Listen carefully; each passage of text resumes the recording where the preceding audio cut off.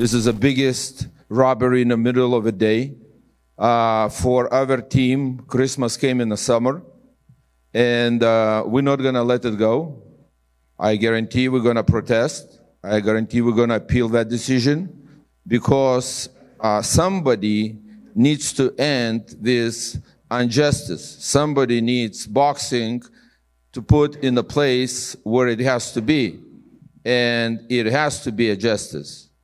Because uh, those judges, when they scoring a completely insane score, uh, they do not understand how those fighters are working hard to get into that place. And then being robbed like that, it's not acceptable. And uh, I guarantee we're not going to let it go. We're going to go all the way to the end to appeal and to maybe we're not going to win. Maybe, maybe it's going to be as it is. Most likely it's going to be. But, we want to show what it has to be justice.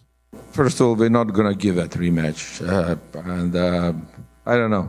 No, it's uh, right now you're asking a question like you know what you're gonna do. So it's we don't know. We have to see it. We have to talk to promoter. We have to see what's what is available, and uh, uh, we will see.